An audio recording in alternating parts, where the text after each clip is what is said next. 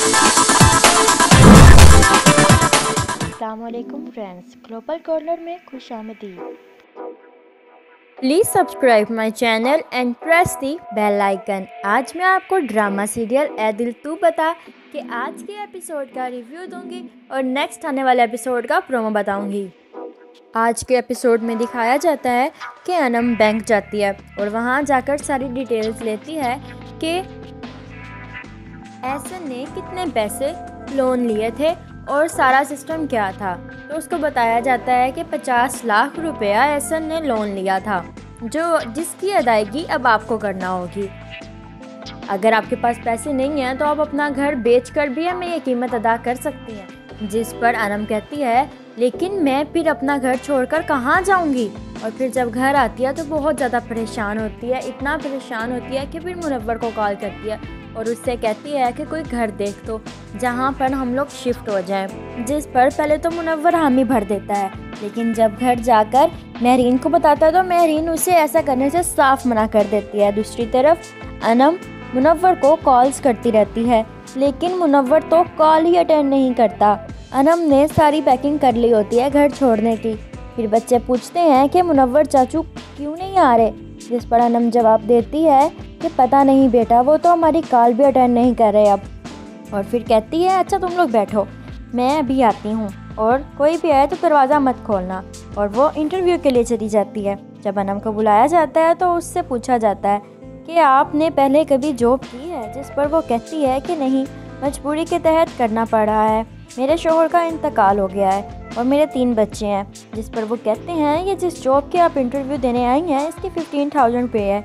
आपका इस पे में गुजारा हो जाएगा। मुझे नहीं लगता कि ऐसा होगा। जिस पर अनम कहती है कि पे कुछ और बढ़ सकती है, जिस पर उसको जवाब दिया जाता है कि नहीं, ये असूल के ख़िलाफ़ है कि किसी की पे बढ़ाना या कम करना। जिस पर अनम कहती है, चलें, ठीक है।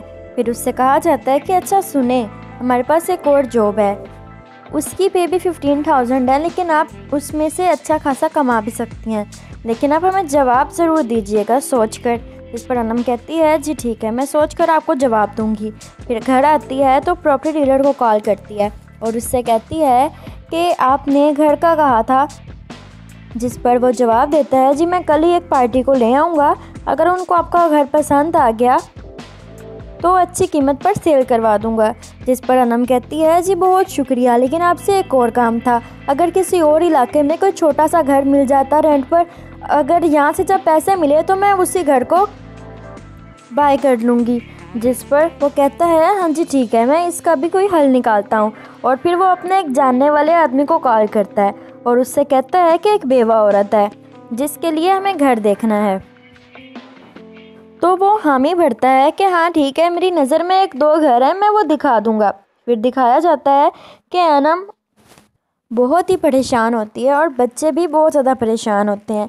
सिदरा और सवेरा रो रही होती हैं और रेहान उनको दिलासे दे रहा होता है कि तुम्हारा भाई अभी तुम्हारे पास है, जिस पर सिदरा कहती है कि कितना अरसा हो गया, हम लोग कहीं घूमने नहीं गए।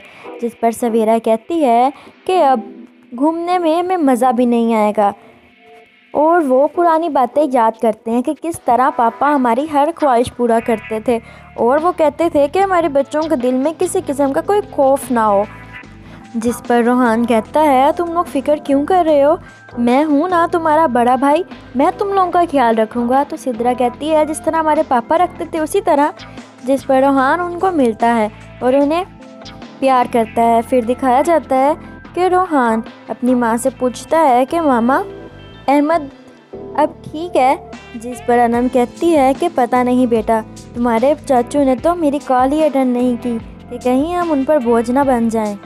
फिर हमें कैसे पता चलेगा कौन ठीक है और कौन ठीक नहीं है दूसरी तरफ़, नरगिस एक और मोहल्ले में रहने वाली अजीब सी, शौक सी, बदतमीज सी लड़की दिखाई गई है, जो गुस्से में अपने घर आती है और अपने शोहर से कहती है कि उसकी हिम्मत कैसे हुई मेरे रईस को हाथ लगाने की, मैं उसके हाथ ना तोड़ दूँ, जिस पर उसका शोहर कहता है कि जब वो स्कूल जाएगा तो मार तो खाएगा ही, जिस पर नरगिस कहती है कि ऐसे कैसे मार खाएगा। मैं उस टीचर के हाथ तोड़ दूँगी, जिस पर उसका शोहर कहता है कि बच्चे तो शरारती होते हैं, वो तो मार नहीं खाएँगे तो सीधे कैसे होएँगे? स्कूल जाएँगे, टीचर से मार खाएँगे तभी तो उन्हें अकल आएगी, जिस पर नरगिस कहती है खबरदार जो मेरे बच्चे के बारे में ऐसे कहा, वो जो टीचर है, वो शैतान है। वो ऐसे कैसे मेरे बच्चे पर हाथ उठाएगी? मैं ऐसा कभी नहीं होने दूँगी जिस पर उसका शोर कहता है। अगर तू स्कूल गई होती तो सबसे ज़्यादा तुझे ही मार पड़ती, जिस पर नरगिस कहती है, ऐसे कैसे मुझे मार पड़ती? मैं उसका मुँह ना नोच लेती। फिर दिखाया जाता है कि अनम को जो घर दिखाया जाता है, वो नरगिस के शोहर का होता है। जब अनम वो घर देखती है तो अनम का दिल बहुत ज़्यादा ख़राब होता है। जब घर जाती है तो बच्चे पूछते हैं मामा वो घर देखने में कैसा है? जिस पर अनम कहती है, बस वो घर है। देखने में कैसा है कि क्या बात है? जिस पर बच्चे कहते हैं कि अच्छा वो इस घर जैसा ही है। जिस पर अनम कहती है, नहीं, बिल्कुल भी नहीं इस घर जैसा। उसके बस दो रूम्स हैं, छोटा सा घर है वो, और बस। जिस पर सिद्रा कहती है अच्छा जिस तरह हमने इस घर को सजाया हुआ है हम उसको भी ऐसे ही करेंगे। जिस पर अनम कहती है हाँ देखा जाएगा।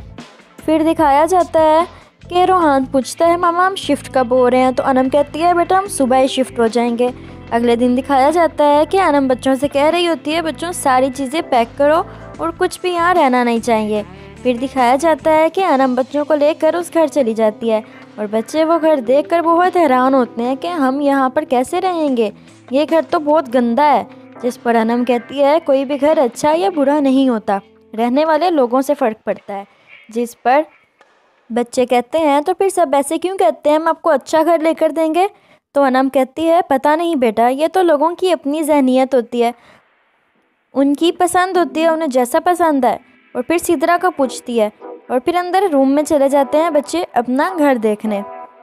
दूसरी तरफ़ दिखाया जाता है कि महरीन को अनम कॉल करती है। और बताती है कि हमें घर मिल गया है। और महरीन कहती है अच्छा ठीक है भाभी, मैं मुनवर को सारी बात बता दूँगी। फिर दिखाया जाता है कि मुनवर पूछता है कि किसकी कॉल थी, जिस पर महरीन बताती है कि भाभी की कॉल थी।